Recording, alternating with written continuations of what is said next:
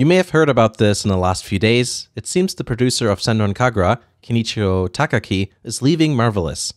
He will, however, still continue work on a few Marvelous projects, including Senran Kagura 7, as well as another non Senran Kagura related game.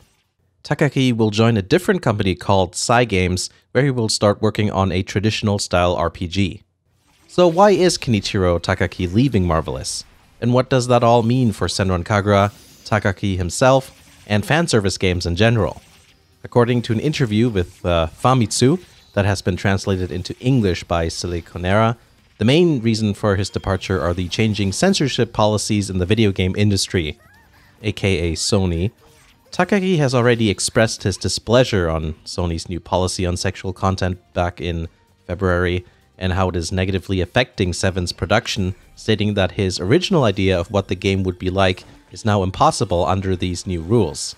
In the Famitsu interview, he said that he sees these recent rule changes as a way to shut things down.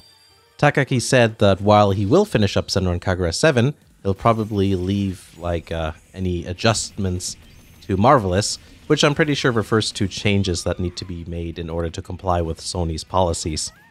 Other than Senran Kagura, there's going to be one more Marvelous game that he'll work on. It doesn't have a name, just a screenshot, and apparently there'll also be an anime. At the end, Takaki said this The place I work and the nature of my work may change, but I won't and will not change what I want to show.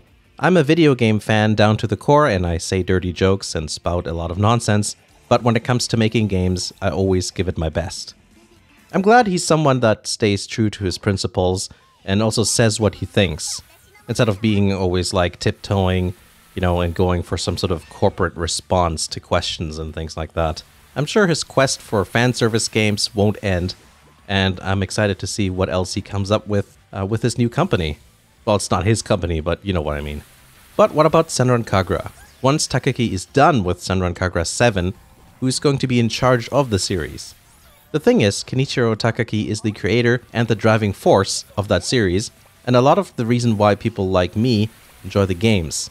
The fan service itself is just one aspect of the games. There are many games that have a ton of fan service, but it's done differently in Senran Kagura. Other than being pretty blatant, not only is it often integrated into gameplay functions, but it's also done for a comedic effect that in a way that I have not seen before. In turn, that's also brought some great variety into the franchise. I like that Takaki wanted to put the characters into different situations, which have resulted in Peach Beach Splash Bon Appetit, the uh, cooking rhythm game spin-off, and the so far Japan-only pinball game Peach Ball.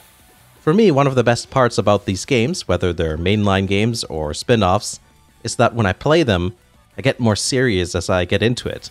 I mean, as you would, right? But occasionally, the fan service moments just bring me out of the series mood, but in a good way. It's like I have this image in my head of what it must look like for someone else to see me look at the screen so seriously while stuff like this is happening on the screen. It just makes me smile for some reason.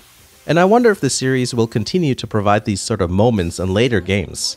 It's pretty rare to find someone who's so blatant and open about wanting to include all sorts of fan service in their games, so perhaps it's something the franchise might lose.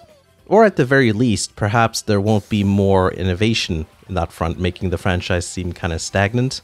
Right now, it's hard to say since it's all just speculation, there are many franchises that stand the test of time even when important members of the production team leave, so hopefully this will be the case with Senran Kagura as well. As strange as it sounds, I'm not really one of those people who's worried about the censorship phase the video game industry is going through. Every media and genre goes through this at one point or another. Fan service games are still relatively new in the grand scheme of things, so it's seeing some resistance. Remember that video I made about Japanese developers moving away from the PlayStation and towards the Switch and PC? I talked about that a little on that video, and my views haven't really changed since then. The demand for such games exists and has never been bigger. One way or another, companies will try and satisfy that particular demographic, whichever system or systems they may be on. Perhaps that's one reason why Takaki is joining Cygames. Perhaps they'll give him uh, more free reign than Marvelous did. It is worth mentioning that Cygames doesn't have the biggest repertoire of console games ever. They've done way more mobile and browser games.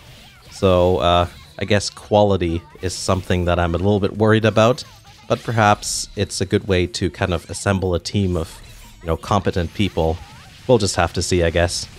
Like I said, I'm excited to see what he comes up with. I'm sure it'll be fun. Anyway, that's all I wanted to say about the matter. I'm interested to see what you guys think about this whole thing, so let me know in the comments. I've been a fan of Senran Kagura since the very first release on the 3DS, so I'm honestly a little concerned with what's going to happen with the series, and I'm sure some of you might be as well.